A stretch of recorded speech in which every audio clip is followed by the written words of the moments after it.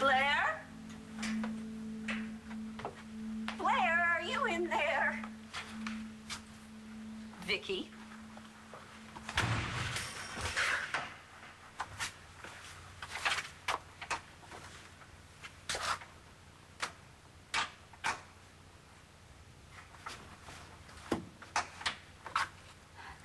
I think it's locked.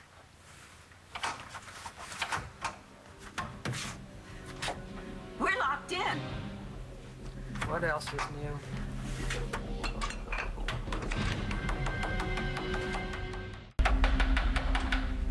Hello?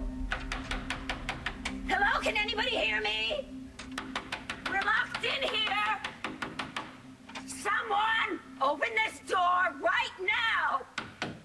Why is this happening to me? To you? I'm the one who's claustrophobic. Yeah, right on cue. And what is that supposed to mean? Oh, Dorian, come on. We've been over this routine countless times. It's like some sort of cosmic joke by now. We get stuck somewhere together, we fight like cats and dogs, and then somebody rescues us. I don't know about you, but I find this very old. There is nothing left to fight about. I wouldn't be so sure of that. Of what? Maybe. Maybe this was supposed to happen. Maybe the universe meant for us to have it out once and for all.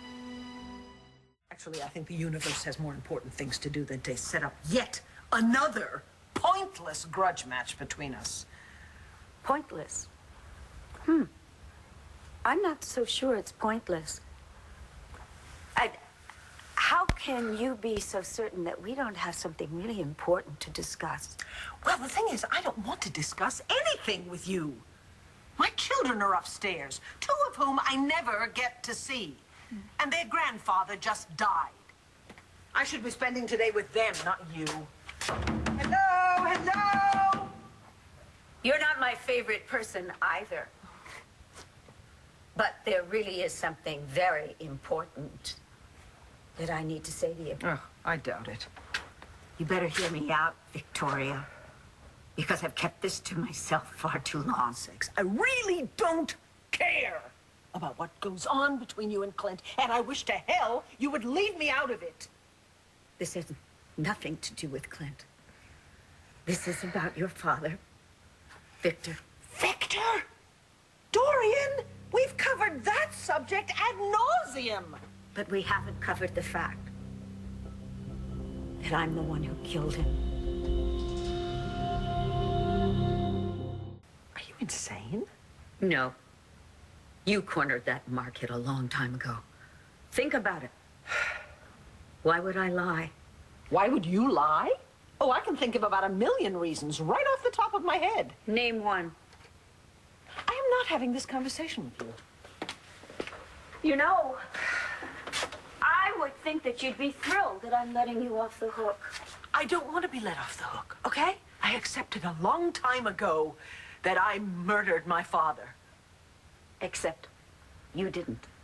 I did. Actually, Dorian, neither one of us did. You can't have forgotten his triumphant return from the grave a few years ago. If it really was him.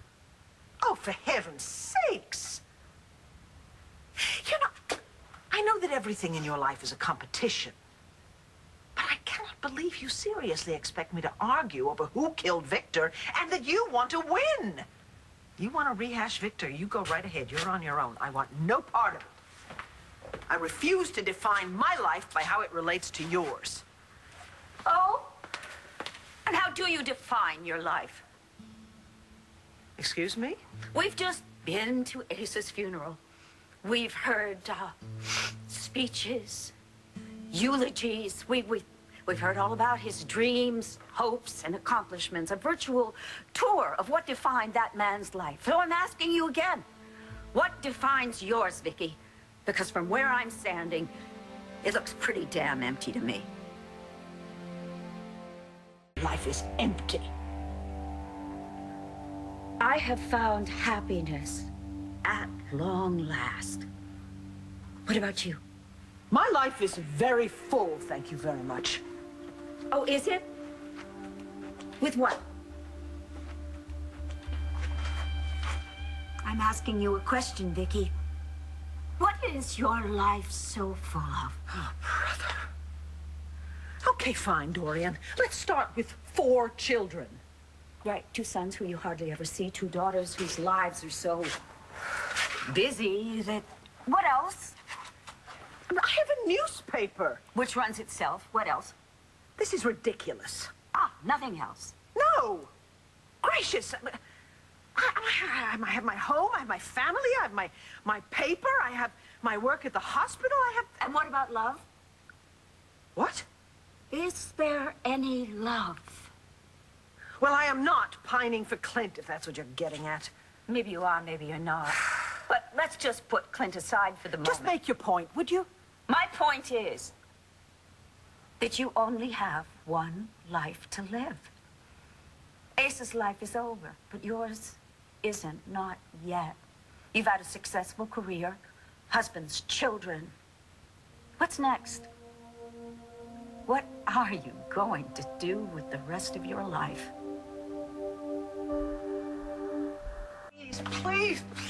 Just leave me alone. My God, are you incapable of minding your own business? Fine, don't listen to what I have to say. Believe me, I'm not. I mean, where is everybody? I told Nigel I was going to be here. Somebody must be missing us. But could I say one more thing? Is it about my father? Maybe. Go ahead.